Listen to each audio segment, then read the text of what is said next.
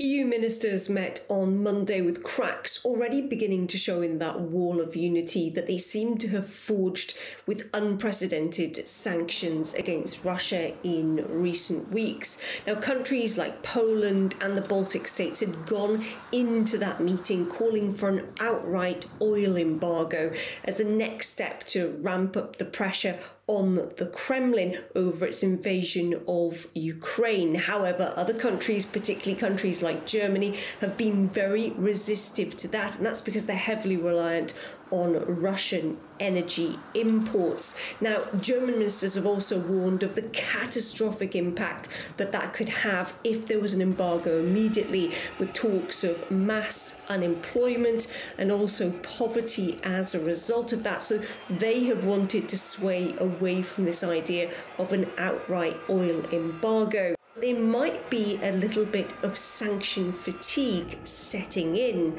Joseph Borrell, this is the EU's foreign affairs chief, said that energy was being weaponised, but it just wasn't the right day to make a concrete move on this.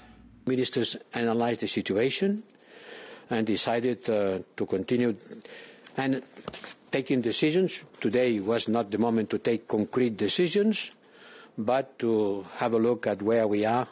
All member states remain extraordinarily united in supporting Ukraine. We will continue isolating Russia, to call out for war crimes, a war crime, a massive war crime committed by the Russian armed forces against Ukrainian people. And this cannot go unanswered. Earlier on Monday, the Kremlin had said that Europe would be hard hit by an embargo on Russian oil. And there were suggestions uh, that, had that been announced, that Moscow would have been ready with its own retaliation. And that, some have suggested, could have been to close a gas pipeline to Europe. To give you a sense of how important that would be, the EU relies on around 40% of its gas from Russia. So, such a measure would have really hit the EU pretty hard.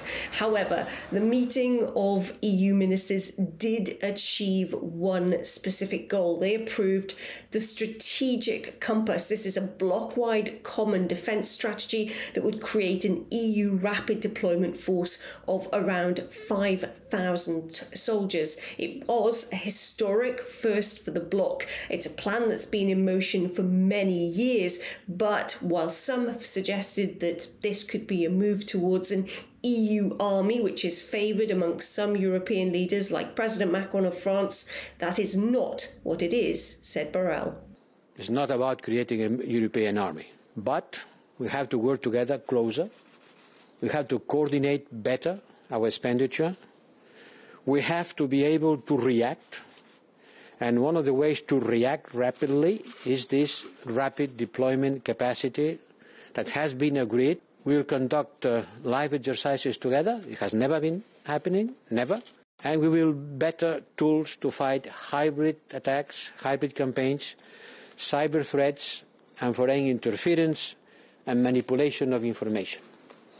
Because the battlefields of tomorrow are also on the networks, is conquering minds of the people. So there is a big work to do, not with guns, but with words, with ideas, the plan has been in place for some time, but it does seem as if the crisis, the conflict in Ukraine, has given EU members a sense of urgency to finally put this plan into action. And Joseph Borrell was very stern when he described the need for this, saying, Our neighbourhood is in flames. There are a circle of challenges, and we have to face them.